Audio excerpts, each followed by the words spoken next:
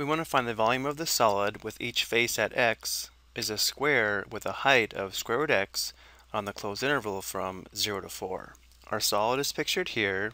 Notice each cross-section or slice would be perpendicular to the x-axis and therefore we can find the volume using this integral here where the volume is equal to the integral of a of x integrated with respect to x from a to b where a of x would be the area of any face.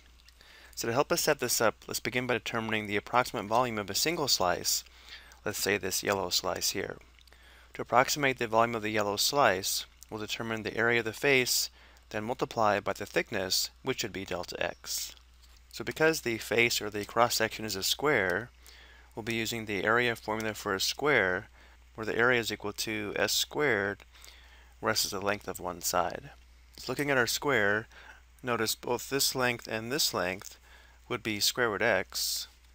So again, our approximate volume is going to be equal to the area of the face, which is the square root of x squared, times the thickness, which is delta x.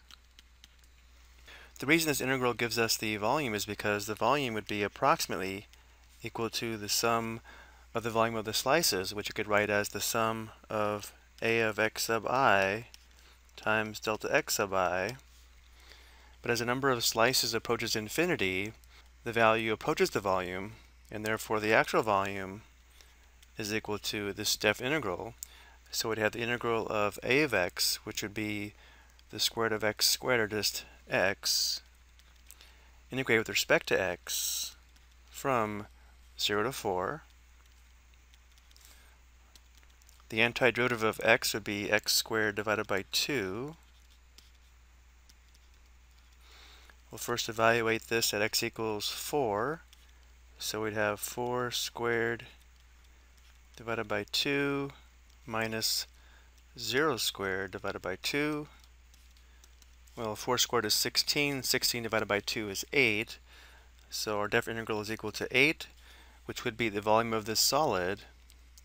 And we're not given the units here. So let's go ahead and write this as 8 cubic units.